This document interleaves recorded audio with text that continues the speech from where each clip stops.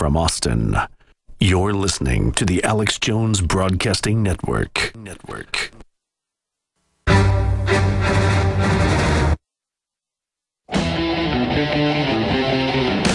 Defending the Republic from enemies, foreign and domestic. It's Alex Jones.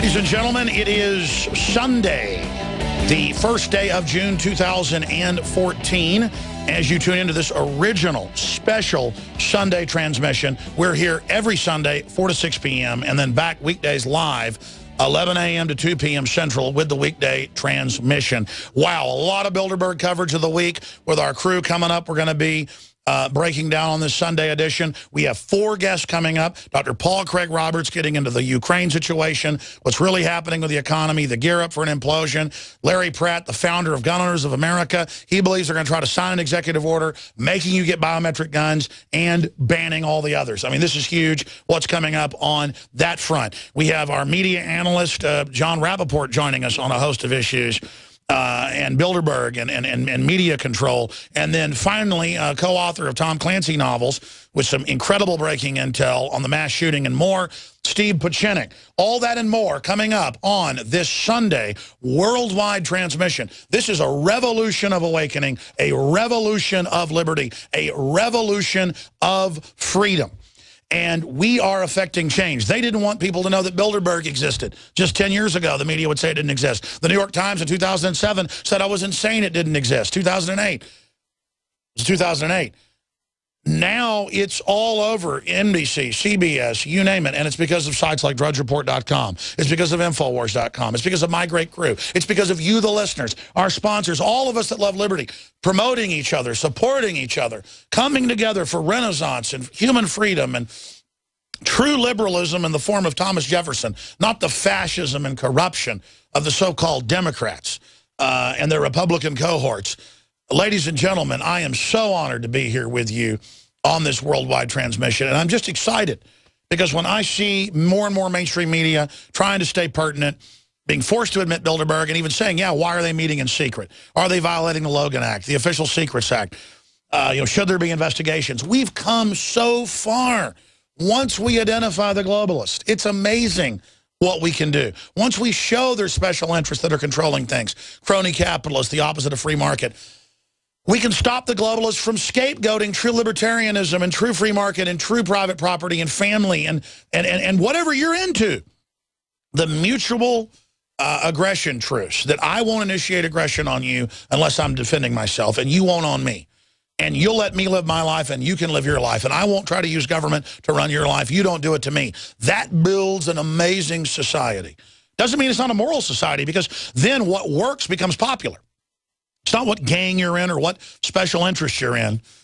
No, ladies and gentlemen, it's what type of production you're involved in, what you've produced, what you've done, what you've made, uh, what you stand for. People come see you because of what you have done and, and, and who you are, not off of what group you're part of. I mean, I don't care if you're black or white. If you play the guitar great and sing great, I want to come hear you and I admire you. I don't care if you're Asian or American Indian or or Mexican. If, if, if I admire your art, I'll hang it in my house and then try to invite you over to dinner if I can. Because that's true humans admiring each other, and that builds a better and better society as people vote with their feet, vote with their opinions, vote with their dollars, vote with their applause, or vote with their disdain for what they like and what they don't like. That is the essence of freedom. We don't need the government to make us free. We change our lives and become more free. Doesn't matter what their phony laws say. They will move in our direction. And that's what's happening across the board. And we'll be talking about that with Jon Rappoport uh, today as well. So four guests. I'm going to just, sometimes I think I'm going to jam-pack this Sunday show with quick two-segment interviews. If everybody shows up today, and I think they will, Larry Pratt, Paul Craig Roberts, Steve Pieczenik, Jon Rappoport, and good old, you know, the, the, the, crazy Texan that loves freedom so much, he, he stutters and talks over his guests. Yours truly, Alexander Emerick Jones. All right, folks, that was the first five-minute segment. The main transmission's coming up. It's carried by all of our great affiliates across the country. Stay with us and tell your friends and family to tune in and be part of the human awakening, the restoration of liberty. Broadcasting worldwide, I am your host, Alex Jones. We have Dr. Paul Craig Roberts, father of Reaganomics, uh, former head of the uh, Treasury and Policy of Reagan, coming on to talk about the economy, uh, the wars, uh, Obama, what's happening with the dollar. Uh, we have the co-author of many of uh, the books with Tom Clancy joining us, as well, Dr. Steve Pieczenik, to talk about the latest Snowden revelations and a lot more. He's also a psychiatrist. And we'll look at what happened with Elliot Rodger last weekend when he uh, killed some of the uh, folks uh, reportedly out there in California. Half of the six he killed was with a knife, but you never hear that really in the media. Should we all be collectively guilty because we own knives that he used a butcher knife?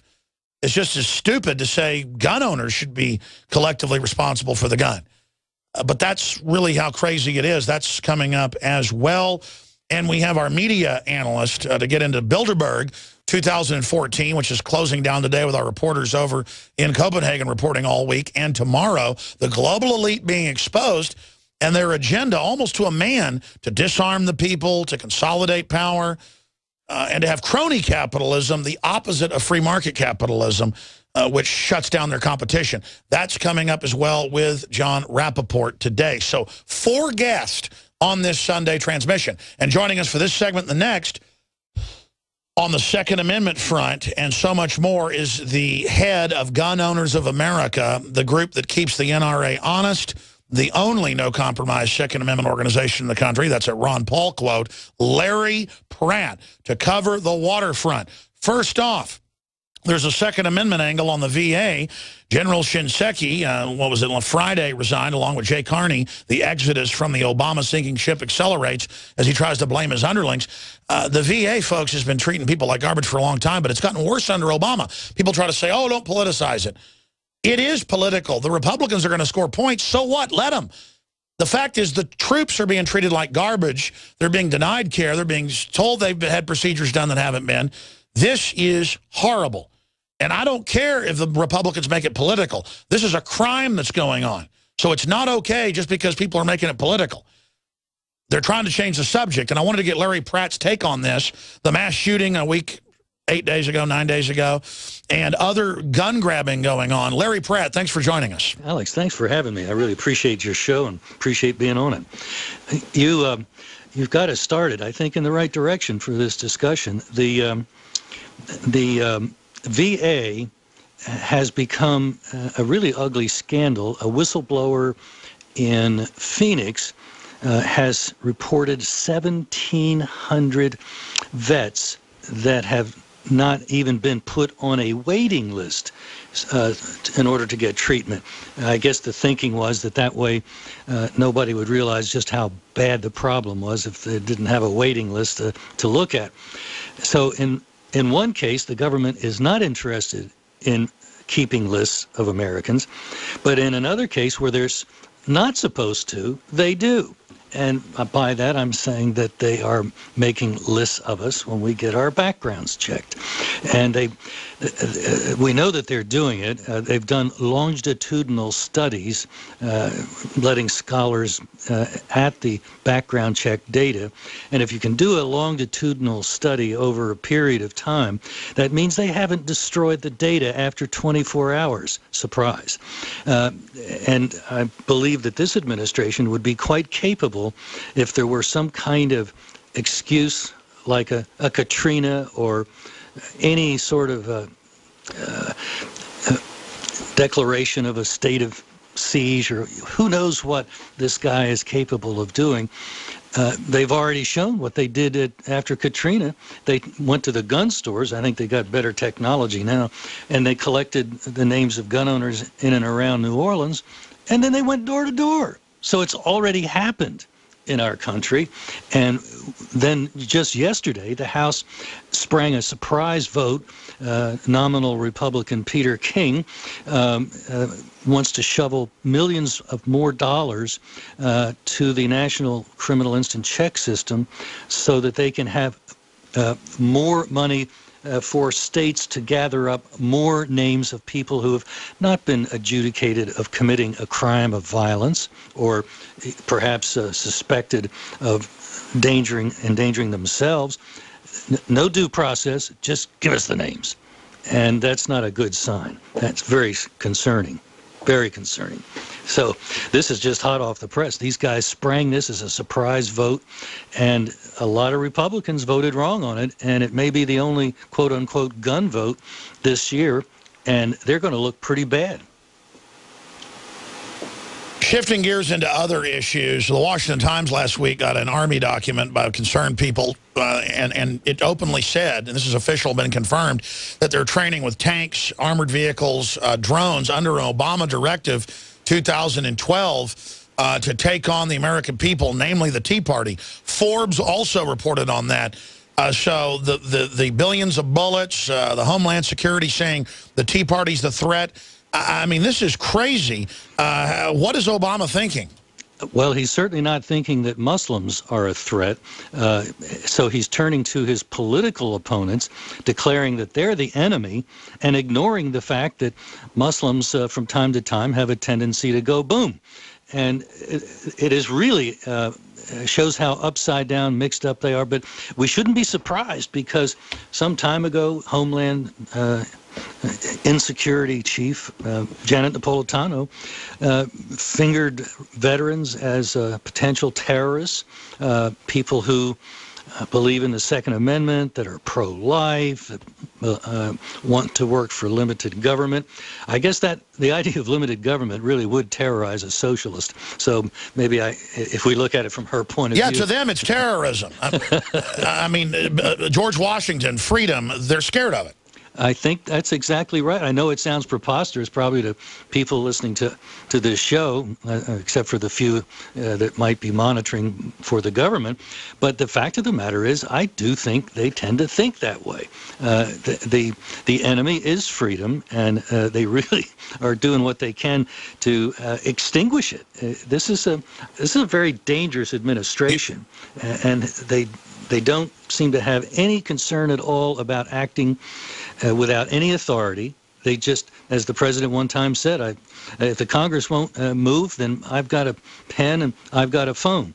And uh, I guess, you know, the, uh, the emperor is able to do that uh, of course, he's probably confusing emperorship and presidency. That's right. And in case the new listeners doubting me on this, it's Inside the Ring. Respected journalist Bill Gertz. Memo outlines Obama's plan to use the military against citizens.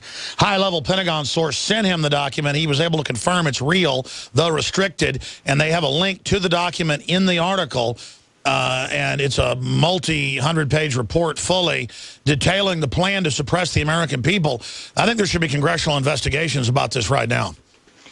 Um, let's hope. Uh, and they might have the investigation, but what they need to do is put some heat on the uh, the court that would ultimately receive the criminal complaint if if they can have an investigation and then produce a criminal complaint as uh, they did with the contempt citation of Eric Holder.